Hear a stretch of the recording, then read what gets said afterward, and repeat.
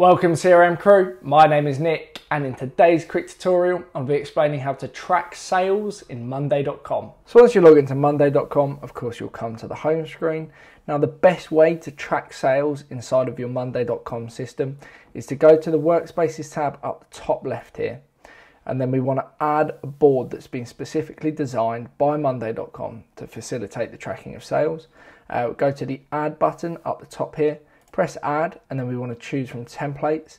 Press the choose from templates button and then go to CRM here. If you can't find it on the right just search it in the search bar CRM and then as you can see here it again appears.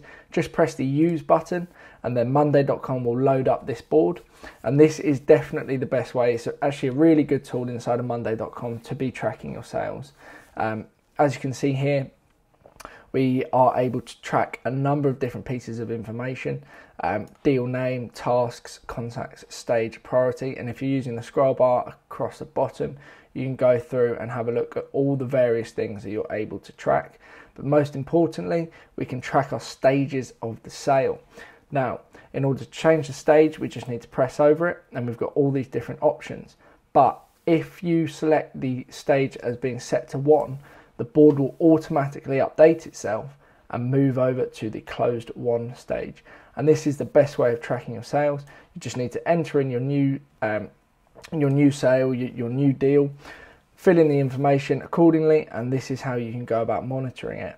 Now, of course, you can create your own custom board if you so wish, or you can use this as a template and then design it to fit your business and what you guys are doing, which is what I would advise doing but this is a really good starting place and this also demonstrates how easy it is to track sales inside of monday.com. I hope this video has clearly explained how to track sales in monday.com. If you do have any further questions, please drop me an email. My details are in the description below. Otherwise, thank you very much for watching and I'll see you shortly in the next video. Thank you and goodbye.